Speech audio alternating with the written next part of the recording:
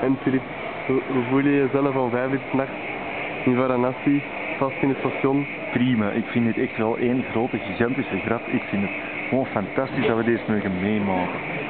Gewoon zo ondergedompeld in de chaos, we zijn overgeleverd onder chaos. We hebben hier niks meer te beslissen, we hebben hier gewoon niks meer in, in de pap te blokken. Het is hier gewoon geweldig. En daarmee, we moeten de, de goedgezindheid erin halen. Dat gaat mij nog lukken ook. Groot gelijk. Ah, En hoe lang zitten we nu al in het station? Sinds vijf uur deze middag of zo. Nee, vier uur deze middag. En nu is het vier uur ochtend ochtends. Dus dat is twaalf uur onder een stuk. Mooi, mooi. Ik vind dat ook. En ik ben nog altijd goed gezien.